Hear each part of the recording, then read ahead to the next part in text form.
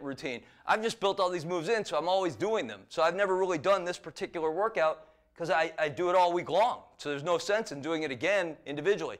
But you could try it. It's a great starting point for someone who hasn't exercised for a long time. So let's take a look. Here are the 10 bulletproof proof moves, and I'll read them off because it might be a little bit blurry on there. Basically, we're looking at down and up. You know, let, let me read one and then demonstrate it. If we can maybe go back and forth. You guys try. I'm just going to do it. Um, so down and up is how important is it to be able to get up from the ground? I mean, it's a huge life needed skill, and there's lots of ways to practice it. But the most basic, maybe you'll take a chair as a beginner, okay, and you're to get down on a knee, down on the other knee, okay, and then back up. That's down and up. Down, up. Okay, if you're intermediate, you can abandon the chair and get this out of the way.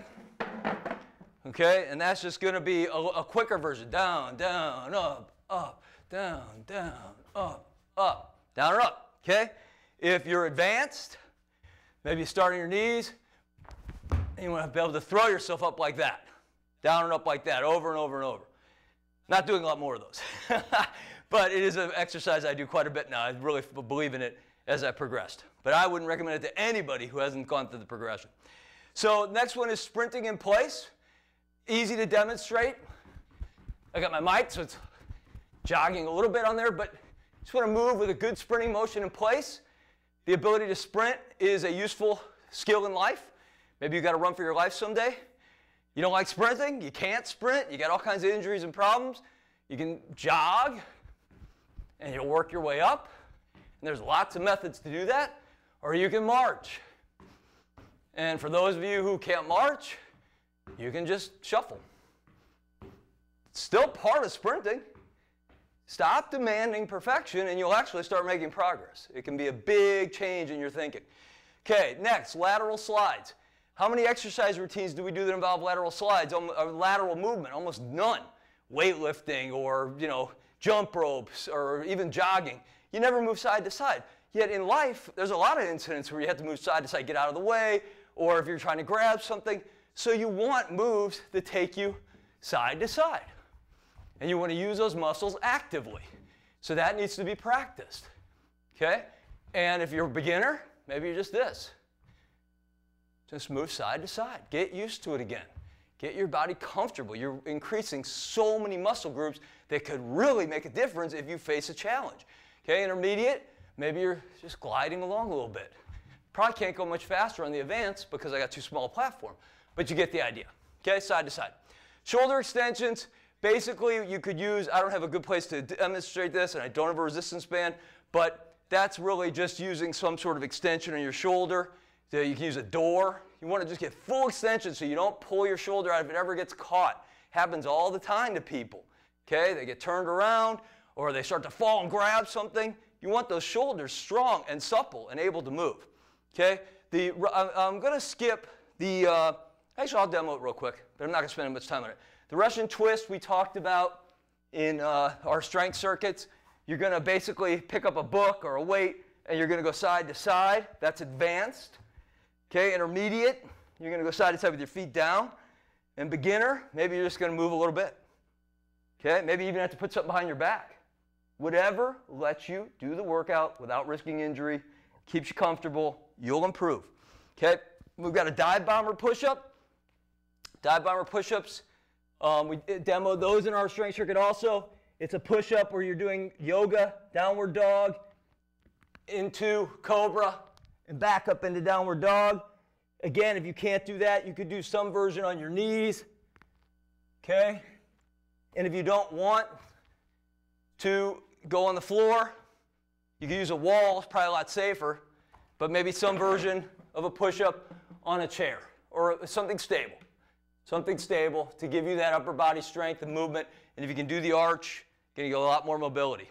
Um, log roll, we want to get to the ability where we can do a forward roll and a backward roll, because isn't that falling? Last I checked, it generally is, but we don't start there. So if this can work with my mic, log roll is really nothing more than you're on your back and you just use your core, don't use your arms core to roll over, okay, roll back. And you'll want to do that with increasing speed. And once you get good at that, maybe start working on something forward and backward. If you cannot get on the ground, now I lost my connection altogether. If you cannot get on the ground, then what you want to do is again with a chair, maybe you're just turning this way, turning that way. Just start to get your body doing those movements that replicate what could really happen to you in life, and it'll be ready if it happens. Okay, um, we've got acceleration and deceleration. Basically, you want to be able to stop on a dime while you're moving quickly. Let's say you're, you know, you're stuck on the ice and you want to stop yourself. You want to come in, stop. You got to be able to stop your body quickly at big speed. I can't really demo it as well as I'd like to. And same thing for backwards. So you go backwards and you want to be able to turn. And you want to just be able to accelerate and decelerate. Okay? Not a move you have to start out with, but you could be walking back and then just stop kind of abruptly. Stop kind of abruptly. You know, jam your knees a little bit without risking injury. Okay? Let me show it again. Jam your knees, but don't risk injury. Let them sink in. Can you stop? Good thing to practice. Use it in life all the time. You probably don't even realize it. When problems happen, you start slipping or tripping. Okay, we've got hip raises where you're on your back. Okay, this one's fairly straightforward. You're just going to bring your hips up very extended. Okay? Now, the arm. So I think you've seen tonight really impacts your balance. Dramatic impact on your balance. So you want to work on your hips all you can and get them flexible, get them strong. And then finally, we've got explosive jumps.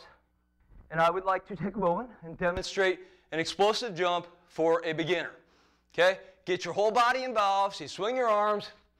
There it is. You just saw it. That's a beginner explosive jump. Okay? You're going to think about touching the ceiling and you're just going to let your body go. Intermediate, you're going to kind of go and get off the ground. Okay? Again, I'm bringing my arms, my hips, everything's into it. Get off the ground. Okay? Advanced, if you watch my other workout, I did it as an example. I always start with it because it loosens up so many parts of your body. And advanced, you're going to be coming back and you're going to explode. Okay, you really, ah, killing me. You're going to explode into your jump. Okay? So you want to get great height and full explosiveness, but that's for advanced and certainly nothing you need to rush into. So those are the 10 bulletproof moves. The way the workout works is you pick five. You pick five, and let's go back to the description, and we're going to do um, five, cir five circuits of all five moves. So I'm going to do one to show you, okay? And then and it's basically we're going to do up and down. So you're going to do like three of each. Up, up, down. Let's do two of each because we don't have time. Two of each, up, up, down, down. The next move on there is sprint in place, maybe 10 steps. Go right into that. Then we're going to do lateral slides. Let's go two each way. One, two. That's three moves. Okay, our fourth move, in the example I've got here, we're going to do hip raises. Let's say we can't get on the floor. We're just going to hip raise, hip raise, hip raise, hip raise. And then we're going to do explosive jumps. We're intermediate. So one, two. Now, we're going to make it into a little exercise. To recover, we're going to move in place. So we're going to keep going for 30 seconds. So that is one circuit. You just saw it. 29, 30. And we're going to do up, down. If you can't get up and down, then what you'll do, maybe move up on a step. This is a nice alternative. You can't, you usually step up and step down. Let me show it again. Up and down. Move up so you don't hurt your knees. Adjust it to what you can handle. Move through all five, rest for 30. I mean, uh, it's a, a recovery set of slow movement, which can literally be walking for 30 seconds. You want to work on your balance, folks. You want to take these studies very seriously. You don't want to ignore them. Either way, you don't want to ignore it because they're too hard, and you don't want to ignore them because you're in such good shape that you don't need them. Because uh, let me tell you, at age 52, it's a lot different than when you were 30 years old. And you don't want to take any bodily movements and skills and athleticism for granted. Because if you do not use it, you will absolutely lose it. However, just the other side, as I said again, if you use it too hard, you're sure to lose it. So take a crack at the Live Longer routine and see what you think about it. Because we'll put it up on the uh, website. Check out our website at easytimingdiet.com. And I can't thank you enough for joining us. I want to thank the Marin Commu- uh, Community Center for the facilities, my fantastic crew, which is V- Vita Flores and Maya Cooper. Thank you so much for all your help.